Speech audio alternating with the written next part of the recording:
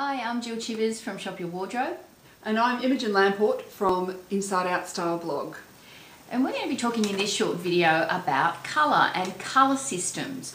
When I first learned about colour about 12 years ago, the four um, seasonal grouping of colour systems like this, summer, winter, spring and autumn, was one of the main colour systems that was being taught.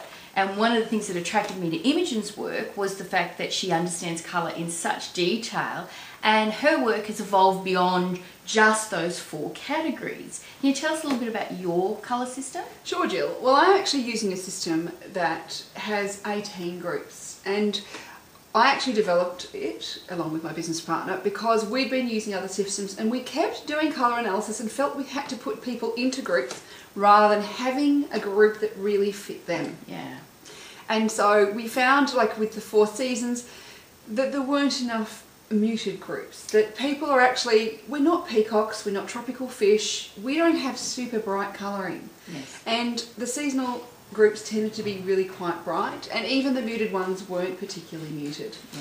Um, and I know that over time that the seasons have been expanded to, you know, between to 8 and then 10 and then 12 groups. But we still felt there were groups missing. Yeah. And so we actually went back and looked at um, Albert Munsell's theory of colour Yes. and just looked at the properties of colour. So there's three major properties of colour. There's light to dark, Yes. there's warm to cool, Yes. and there's bright to muted. Yes. And so it's, are you lighter or darker? So if we look at you, Jill, you're lighter. Yes. Look at me, I'm darker. Yeah. Even though we both have fair skin, Mm. but particularly with Caucasians, it's hair colour Yes. that comes into play because that's 75% of what we see when we're seeing colour. Yeah. Then we look at the warmth and the coolness. So if you have more carotene in your skin, you're more likely to be warmer. If you have less, you're more likely to be cooler. So you're warm and I'm cool. Yes. And then we have the brightness or the mutedness. And that is how kind of the intensity, the saturation of the colour, or if you really need the more greyed down or smoky colours. Yes. Now this changes as we age. Mm. When we're young, we're at our brightest. Yes. We've got the brightest coloured eyes, we've, we've got the most pigment. And we always notice that as our hair goes, as my son says, light black,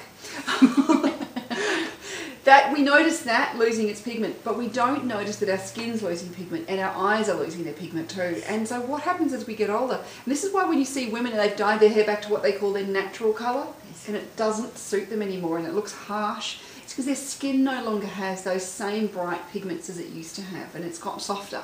So we need to tone the mutedness of our colours down as we age.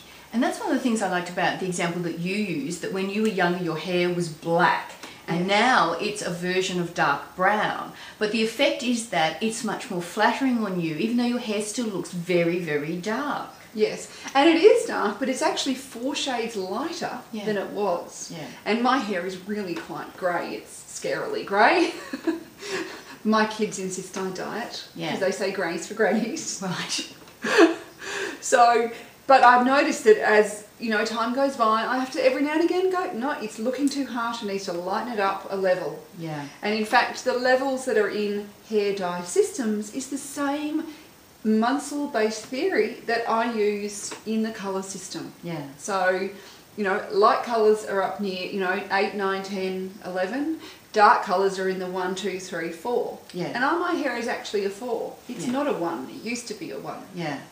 And so you would encourage people, if people are trying to get like a fundamental understanding of their own colouring, say prior to coming to seeing you or, or as an alternative if they're just trying to get a sense of their own Yeah. colouring, is rather than looking at the, the seasonal thing, it's to look at the, am I warm or cool? Am I deeper or lighter? Am I more muted or softer in my colouring or am I brighter? That That's a more helpful way of looking at colour. Absolutely. The seasons was based on art and just how seasons look. Now, we live in Australia and you live in Queensland. Do you have an icy cold, snowy winter? Yes, no, we, not on record, no.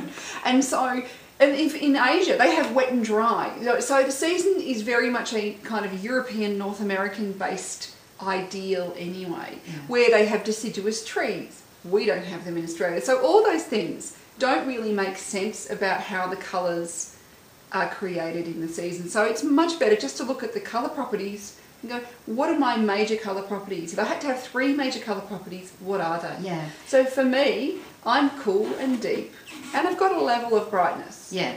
But you focus on those two, and and for me, it's warm and light, and I tend to slide on that scale of, of brightness to more muted colours, and I, I really use that one more in how I put my colour colour combinations together in my contrast, which we'll talk about in another video.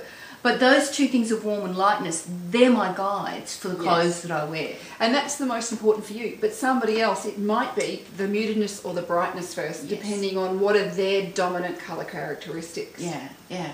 Excellent. Well, that's been really helpful. It's really clarified for me how important it is to go beyond the four seasons and understand that there is a degree of complexity or sophistication to colour, and it's quite easy for people to, to understand those four, uh, three concepts. Yes, and just to remember that your colouring changes.